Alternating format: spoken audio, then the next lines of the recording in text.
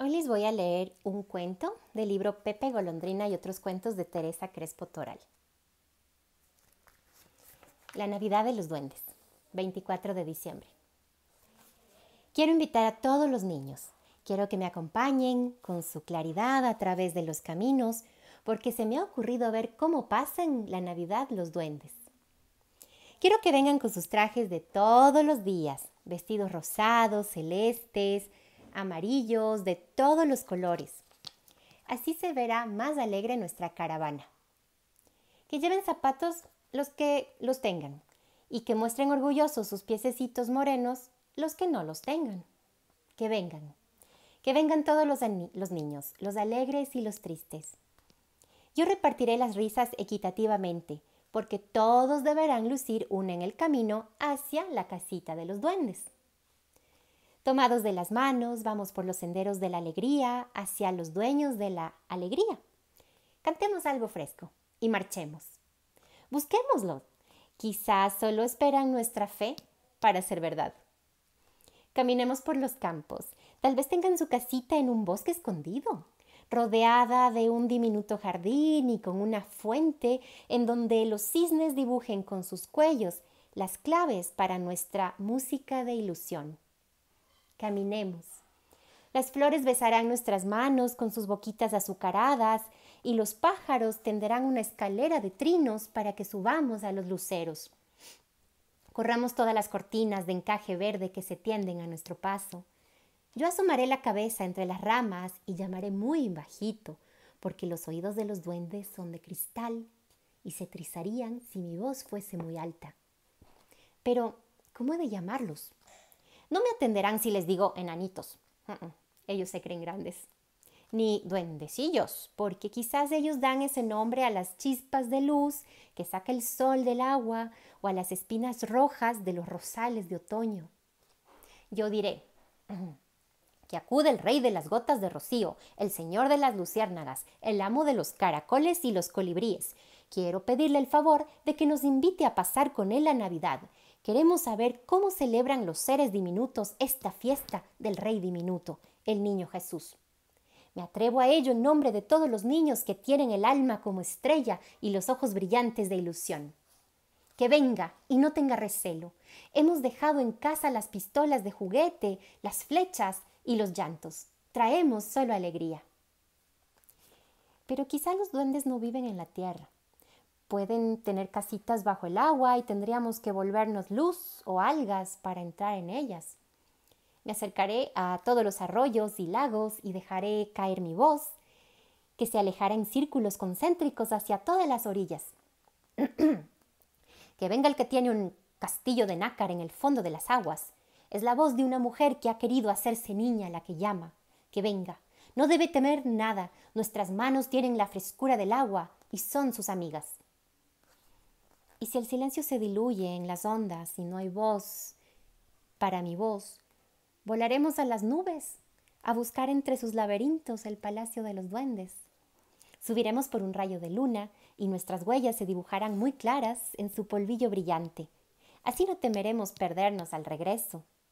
Iré hundiendo mi voz entre los algodones plateados, que se acerque el duendecillo juguetón que me lanzaba aerolitos desde el cuerno de la luna en mis sueños de niña que venga el diablillo que me invitaba a dar paseos por los jardines luminosos de la noche, sobre un cometa viajero.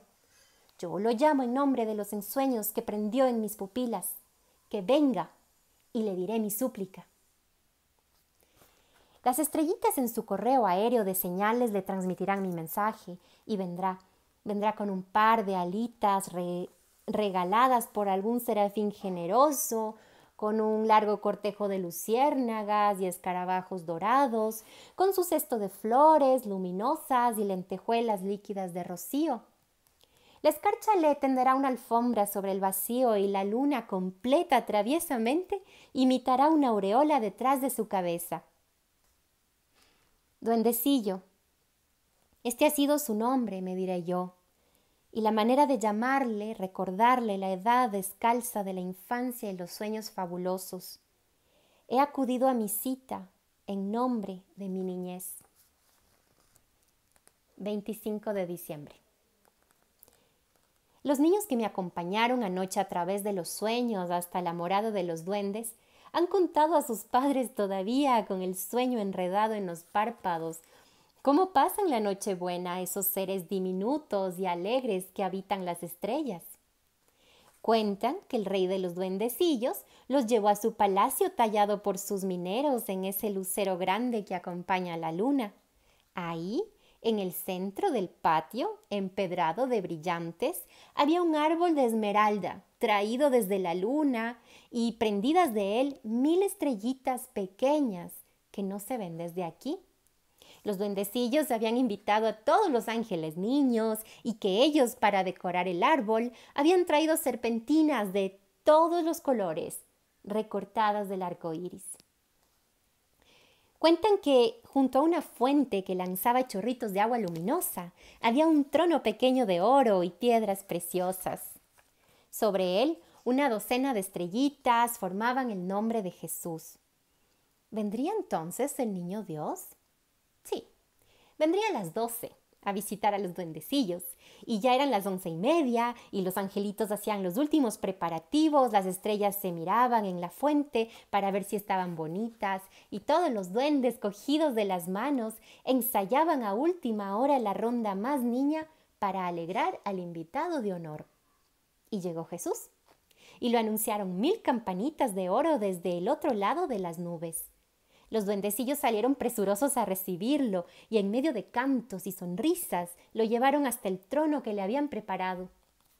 Y cuentan los niños que mientras Jesús repartía los aguinaldos entre los duendecillos gozosos, ellos, que cobardes corrieron a ocultarse tras la nubecilla plateada, curiosos asomaban sus rostros asombrados que los vio el recién llegado y cariñosamente los fue llamando uno por uno, desde el chiquitín morenito y descalzo que, alejado de los demás, había ido a esconderse tras un rosal de rubí, hasta la niña rubia vestida de rosa y calzado de blancas zapatillas, que, oculta detrás de una estrella, puesta en puntillas, trataba de mirarlo sin dejarse ver.